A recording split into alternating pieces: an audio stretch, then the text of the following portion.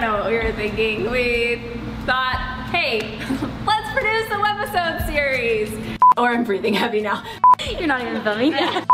Every homeowner watching the hit reality TV web series Dream Home Makeover wished it was their own home being transformed into amazing living spaces. The renovation is being handled by Studio McGee, headed by its CEO Syd McGee and his wife, the Chief Creative Officer and resident interior designer Shea McGee. The first episode was aired in October 2020, and due to its popularity, Netflix ordered another season with six episodes and it premiered in January 2021. The husband and wife team started their business, Studio McGee, back in 2014, inspired by the positive feedback Shea got from the photos she posted up on her Instagram account in 2013 of the newly renovated home studio in Southern California, which she personally designed. She changed her career goals when she realized that her hobby of interior designing could be turned into a serious business when her own family and friends became paying clients. Syd, on the other hand, had been working on his own tech firm for six years but encouraged by his wife's newfound career, he sold his business and supported Shea in building an interior design firm with her. However, they encountered many financial problems associated with starting a new business, and with a new baby on board, it almost broke their marriage. At that time, they were in dire straits, and living in California was becoming too expensive. So they sold all their remaining assets and moved to Utah, where the cost of living was way more affordable. Slowly, they built their clientele by reconnecting with their old college buddies there. And with the help of social media, the couple received a steady flow of new projects. Studio McGee flourished, and years later, they launched another business, McGee & Co., an e-commerce brand which had all the furniture and decor they used for their renovation projects. Since then, Shea has been recognized as one of the major design influencers on Instagram, and Studio McGee has been acknowledged as one of the leading trailblazers in interior design. Each time they landed a new renovation project, they documented and shared it with the public via their Instagram account. They slowly gained appreciation on the social media platform, and by 2021, they have close to 3 million followers. As their popularity online grew, the McGees received TV offers for a reality TV series, and they almost said yes to a certain production company, but rejected the proposal altogether when they learned that they wanted Syd to pose as a fake contractor. The TV studio executives wanted them to be the perfect contractor designer duo renovating homes, since the idea was more marketable. Syd said it wouldn't work since he wasn't trained for that, and they didn't want to pretend to be people just so that they could appear more appealing to its viewers. Studio McGee decided to create their own content so that they wouldn't compromise their principles, and uploaded them onto the video sharing site YouTube for the public to enjoy.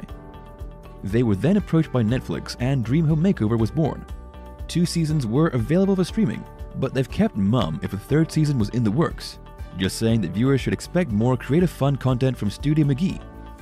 Even loyal fans of the show would be surprised at some of the interesting facts about the couple and the details behind every episode they see on Netflix. Here are just some of them. Dream Home Makeover might have only been released in 2020, but it's been in the works since 2018. When things went south on their first TV proposal, the McGees never gave up on creating content for TV, but waited for the right time and the right people to pursue it. Not everyone knew that they already had a contract with Netflix to produce the reality TV series a couple of years before it premiered on the streaming platform, as they kept it a secret. Shea said that it was hard not to share the wonderful news with their online followers, especially that they had a great time filming each episode during the first season. Many people were confused as to what Syd actually did on the show, since it was focused on the transformation process of a room or house renovation. Shea would always be the star of the show. However, she wouldn't be able to present the good and beautiful without Syd taking care of the bad and ugly part of the business, which included hiring the right people and firing any unreliable ones. He also made sure that they kept to the budget and would find several options for all that she needed for each project. While his duties were as essential as Shea's creative skills were for the show and their business, they weren't interesting enough to be shown on TV. Nevertheless, Syd's personality made everything fun and lighthearted, and his presence at Shea's side represented stability.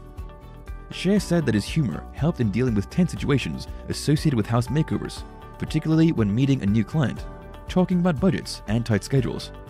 When he's asked about his specific role in the business, he'd reply with a funny comeback, like in real life. Most reality TV series, even the most popular ones, have been proven to be at least part scripted, and this was where Dream Home Makeover was most proud, as the show is as real as it gets.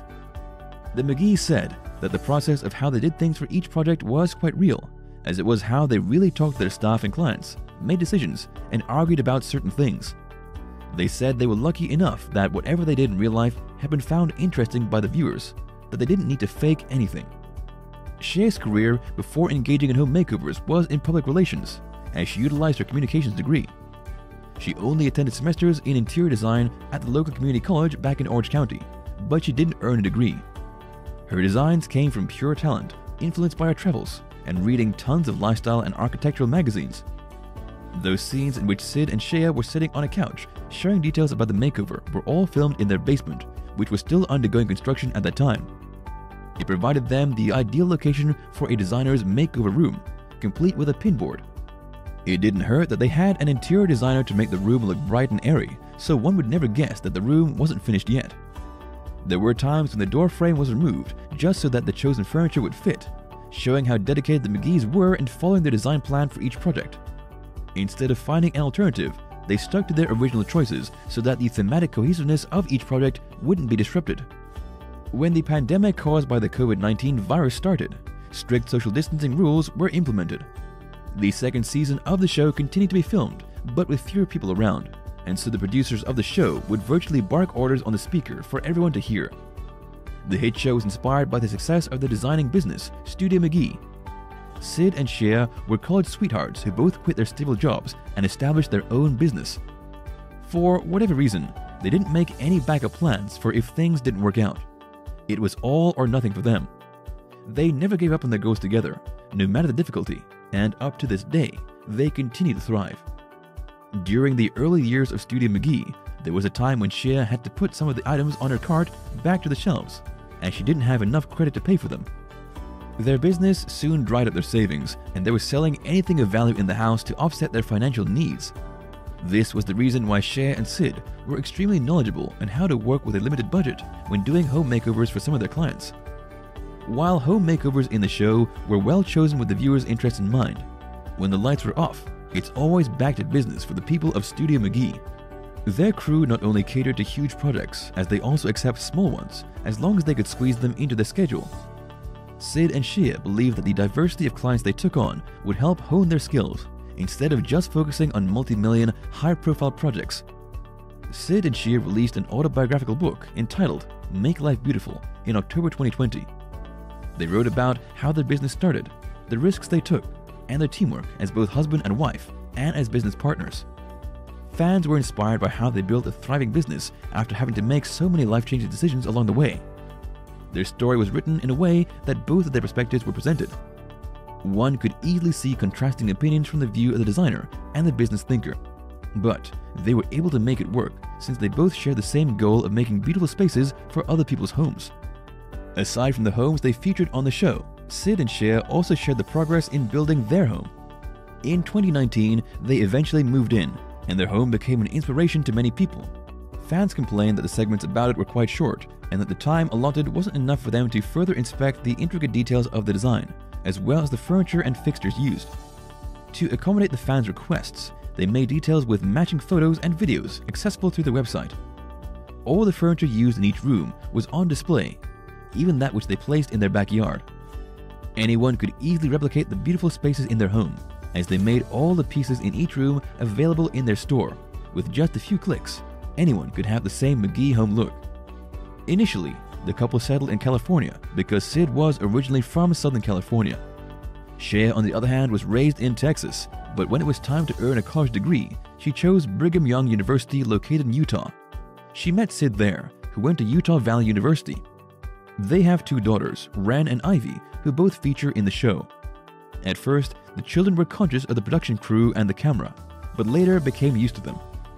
One of the reasons why they chose Utah was that both of Shea's parents settled in the Beehive State.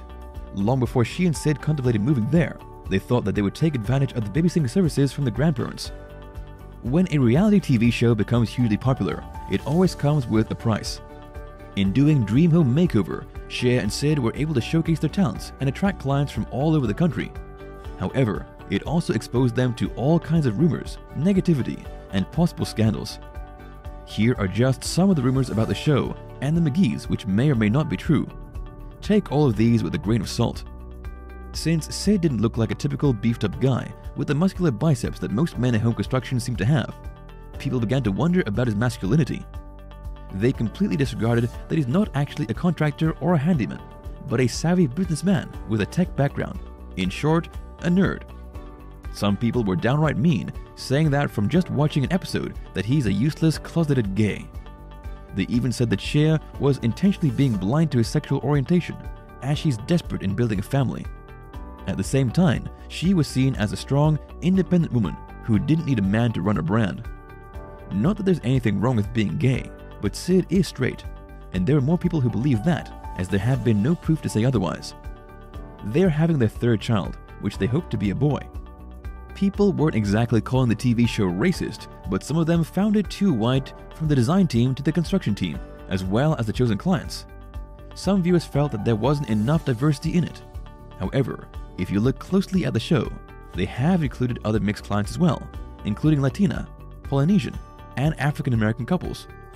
Considering that Utah is predominantly white and just about 2% of the population are black, the show has indeed shown cultural diversity.